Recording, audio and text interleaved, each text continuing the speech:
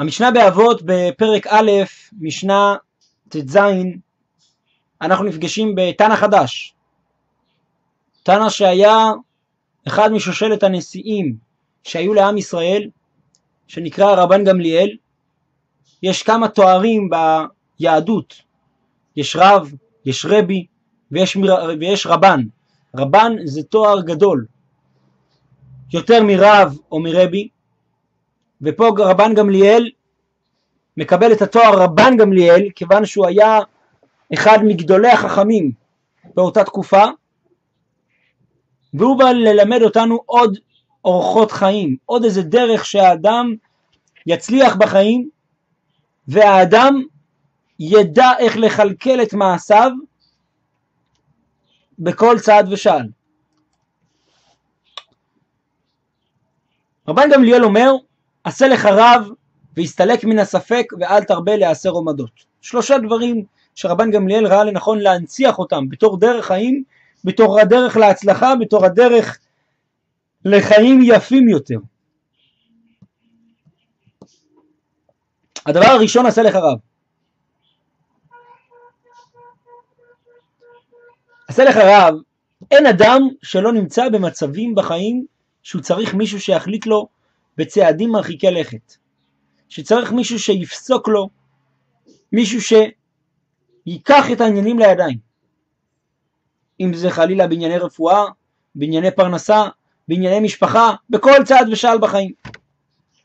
כשיש לאדם רב, רב זה לא אומר אדם שקורא לעצמו רב, אלא רב זה אדם שישב ועמל בתורה ועסק בתורת השם עשרות בשנים והראש שלו נהיה ראש תורני. כשאני אומר ראש תורני אני מתכוון לראש שהמהלך המחשבה שלו זה לא ביזנס, זה לא כסף, זה לא תאוות, זה תורה. לזה אפשר להגיע רק אם האדם עמל בתורה מתוך הדחק במשך שנים. אז הראש שלו, ההלך מחשבה שלו, מתוך ההרגל, ממשיך לצעוד בכיוון התורה. כי כל החיים שלו המחשבה שלו הייתה מחוברת לתורה. והאדם שעושה לו רב, הוא ניצל מהרבה הרבה הרבה דברים. בכל דבר שהאדם נמצא בדילמה בחיים, יש לו למי לשאול, יש לו על מי להישען, יש לו על מי לסמוך ויש לו על מי לבטוח. ובמילא גם עשייתא דשמיא שלו, משמיים עוזרים. למה? כשאתה מחובר לרב, בעצם הרב הזה זה אדם שעושה את רצון האלוקים עשרות בשנים. ואלוקים, יש לו הכרת הטוב. אם האדם הזה עושה את רצוני, אני אעשה את רצונו. וכשהאדם הולך ושומע לרב, והרב מחליט החלטה, אם זה בענייני רפואה, לעשות ניתוח, לא לעשות ניתוח, בענייני פרנסה, להשקיע בנכס הזה, לא להשקיע בנכס הזה, או בכל דבר אחר, זה בעצם רצון האלוקים. זה בעצם הדרך שאלוקים אומר לך מה לעשות על ידי התורה, על ידי האדם שלומד את התורה. לכן אומר רבן גמליאל עשה לך רב, זה דבר ראשון. תעשה לך רב לעניין זה שתוכל לשאול אותו דרך חיים, לשאול אותו הלכות, לשאול אותו דברים שאתה צריך לדעת. והסתלק מן הספק. הסתלק מן הספק, יש מקרים שהם מקרים של ספק.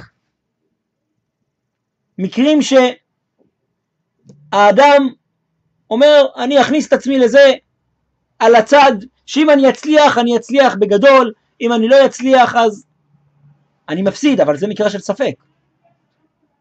אומר רבן גמליאל, כשאני אמרתי לך, עשה לך רב, במילא אתה תנצל גם והסתלק מן הספק. למה? כשאתה תכניס את עצמך למצב של ספק על פי הוראת הרב, זה כבר לא יהיה ספק.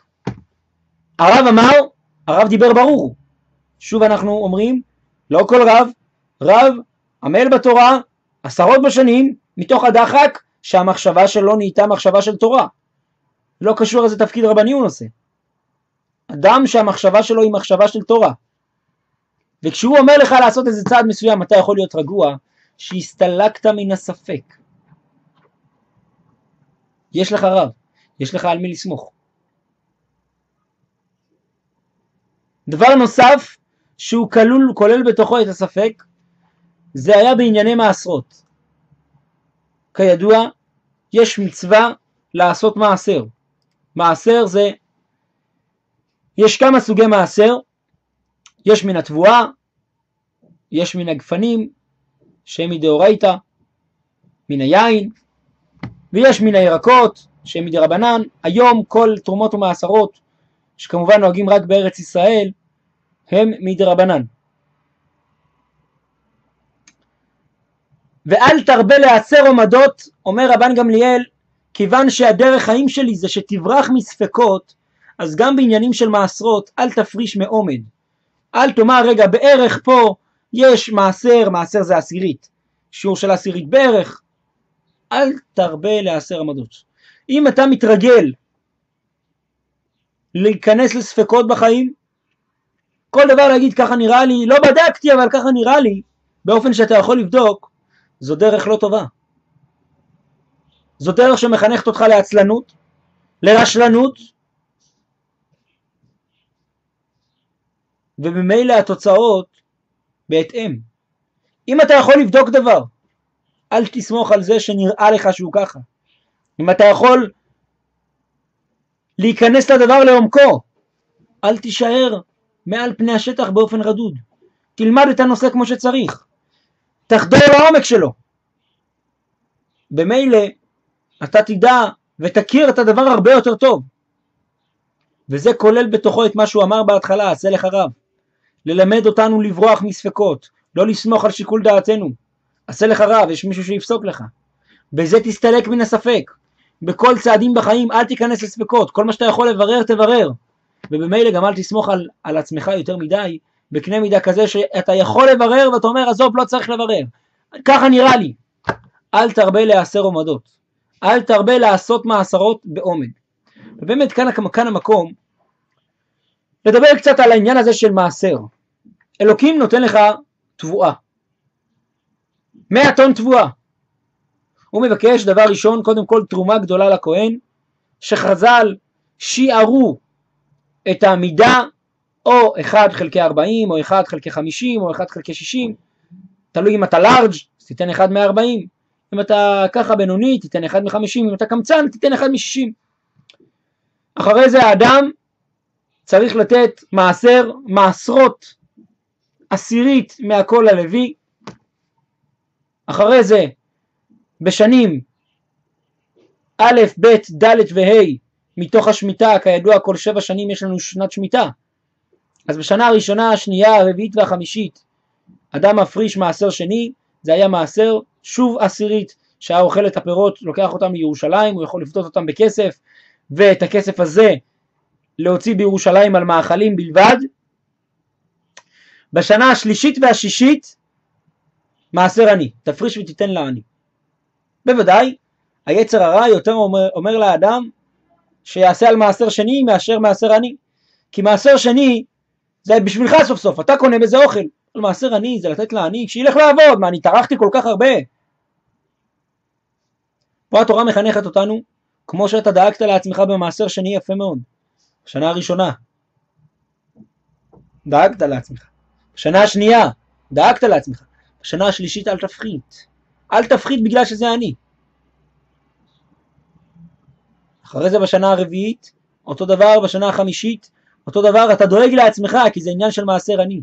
אז בשנה השישית אל תפחית. פעם בשנתיים מגיע השנה שאת כל התבואה, את המעשרות של התבואה, תיתן לעני. זה לא שנלקח ממך. הכל הרי של הקדוש ברוך הוא. כשהקדוש ברוך הוא מחליט לתת לך ולעשות אותך פקיד נאמן, לעשות אותך אדם שידע לנהל ולכלכל את התבואה בעולם הזה בשביל שיחלק אותה לאנשים שאין להם. ואם אלוקים לקח ועשה אותך פקיד, עשה אותך מצליח באיזה משהו מסוים, אל תאכזב אותו. אל תאכזב אותו. תדע איך להשתמש ואיך להתנהל בתבואה, בפירות, ולעשות על פי ציוויו. כי סוף כל סוף, אתה חייב לו, לקדוש ברוך הוא, יותר ממה שהוא חייב לך. הוא נתן לך את הכל הרי. חז"ל מלמדים אותנו שהעניין הזה לא רק של מעשרות בתבואה, אלא גם מעשר כספים. אדם שעושה מעשר כספים, זאת אומרת עשירית מכל ההכנסות שלו, אבל עשירית באופן מדויק, לא כמו שאמרנו בעומד, במחשבה, נראה לי ככה וזה, באופן מדויק. חז"ל אומרים שהמעשרות האלו יעשירו אותך. עשר בשביל שתתעשר. אנשים מחפשים להיות עשירים. כאן חז"ל מבטיחים. ובאמת הקדוש ברוך הוא אומר, בחנוני נא בזאת, אם לא אפתח לכם את ארובות השמיים. ובאמת המפרשים אומרים שהעניין הזה של מעשרות הוא צריך להיות באופן מדויק, לא יותר ולא פחות. יותר אתה רוצה תיתן מדין צדקה, אבל מעשרות זה סגולה לעשירות באופן מדויק. הרווחת 100 שקל, 10 שקלים לצדקה. 100 דולר, 10 דולר לצדקה. אבל, וכאן מגיע האבל הגדול.